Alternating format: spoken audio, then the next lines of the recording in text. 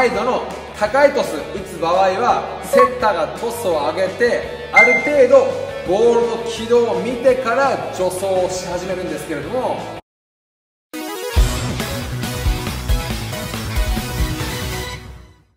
集まれご覧いただきありがとうございますりょうすけです今回のこの動画も Q&A 形式でお届けしていきたいと思いますということで今回の質問はスパイクでかぶって打ってしまう場合の対策は何かありませんかといったご質問です。この質問に対して僕なりの回答をしていきたいと思います。どうしてもかぶって打ってしまう方というのはその選手なりの癖があります。その癖を直していくことによってかぶっている状態ではなく体の前でボールを置いてスパイクを打つことができます。ですので今回ご紹介するポイントをぜひ練習で意識してかぶってしまうということを直していきましょう。ということで早速ご紹介していきます。はいということで早速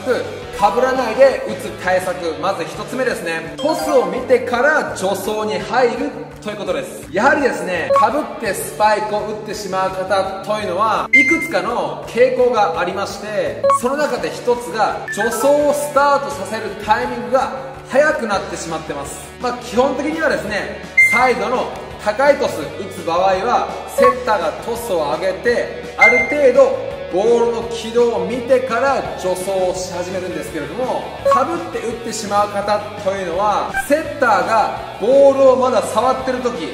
まだボールの軌道がわからない時にもうスタートし始めてボールがまだ上がっていないのにネットに突っ込み始めて最終的にかぶって打ってしまうということが起こります。もちろんセッターはナイストスを上げるためにいろいろと意識をしてトスを上げていると思うんですけれども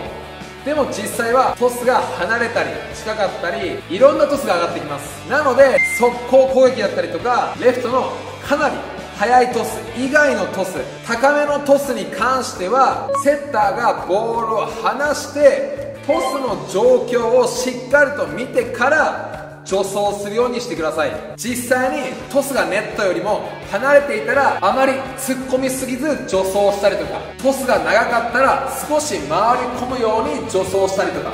いろいろと助走を変えると思います。でもかぶってしまう人というのはセッターがトスをまだ上げていないのにまだボールを触ってる状況なのに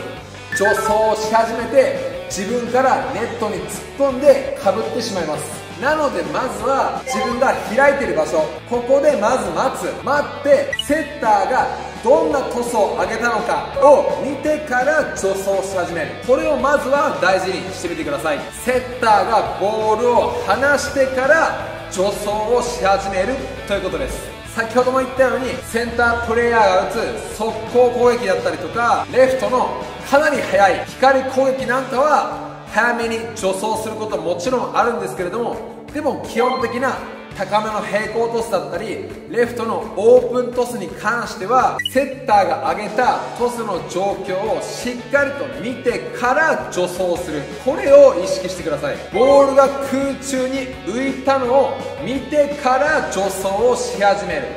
これをぜひ意識してみてください。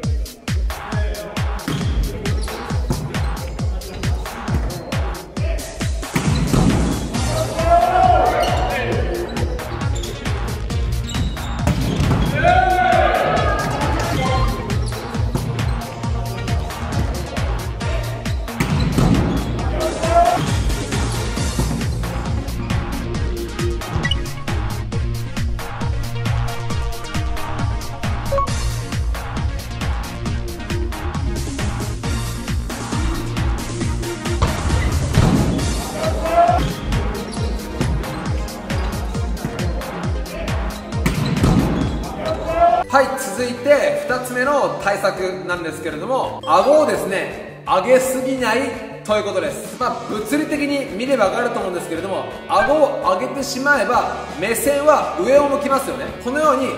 顎が上がって目線が常に上を向いている状態だと自分の目線の方向でボールを捉えようとするので自然とかぶった状況でスパイクを打ってしまいます。もちろん少しは上を向くんですけれども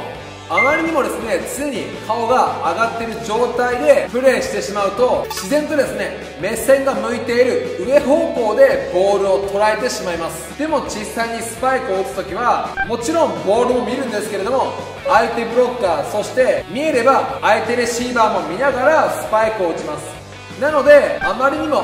顎が上がりすぎて天井とボールしか見えていない状況だともちろんかぶってしまいますし相手ブロッカーも見えない状況でスパイクを打ってしまいます。なのでこの顎を引くということ引いてる状態で助走を待って実際にスパイク助走をする時もあまり顎は上げすぎず若干引いてる状態で上目遣いでボールを見ながらスパイクを打つようにしてみてください。やはりですね顎を引いて前方向を向いている状態の視野でボールを見ると目線が前方向を向いているので相手ブロッカーも見えやすくなってきますし調子良ければ相手のレシーバーも見えやすくなってきます。でも常に顎が上がっていて目線が上方向に向いていればボールを捉えるポイントも頭の上になってしまいますし相手の状況も分かりづらくなります。なので顎は上げすぎない。若干引いてる状態で常にプレーすることをお勧めします。やはりかぶって打ってしまう人っていうのは顔でこのようにですねボールを追ってしまって顎が上がってる時間が長いんですね。なのでこの顎を引いてあげてコートの状況全体が見えるようにしてみてください。この顎を上げすぎないということに関してスパイク以外でもオーバーパスをする時もあまりにも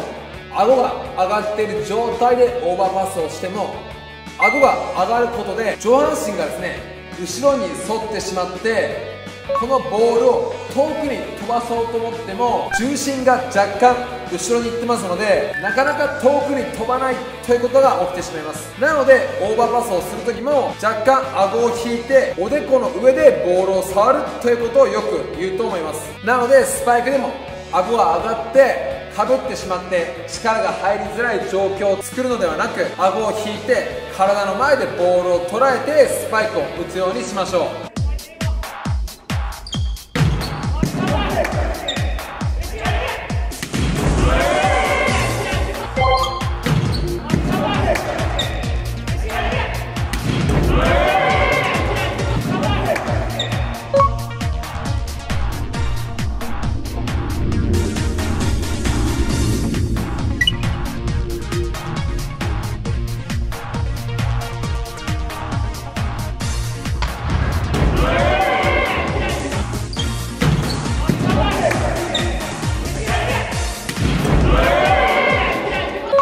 いうことでここでお知らせです。まず1つ目が僕が直接お電話でメンタルサポートやアドバイスをさせていただくサービスがあります。僕に直接話を聞いてほしかったり何か相談したいことがある方は概要欄に貼ってある案内サイトをご覧ください。そしてお知らせ2つ目は僕が作成した渾身のスパイク教材があります。スパイクの基礎から応用そして最終スキル。ブロックアウトが習得できるスパイク教材になっています。全部で21種類のスパイク教材になっています。学生バレーボーラーの方に限らずその親御さんそして社会人バレーボーラーの方にも分かりやすくとても具体的な内容になっています。スパイク教材も概要欄に貼ってありますのでぜひご覧になってください。はい。ということで今回はスパイクを打つ時にかぶってしまうという方に向けて対策を今回2つですねご紹介してきました。このチャンネルではこういったようにバレーボールに関する上達法を熱くお届けしていきます。ぜひチャンネル登録そして今回のこの動画の評価していただけるととても嬉しく思います。最近はですねこういったように質問に対して僕なりの回答をしていきますので何かバレーボールに関してご質問がありましたらコメント欄にていただけると僕が回答できる範囲で回答していきたいと思います。ということで今回も最後まで見ていただいてありがとうございました。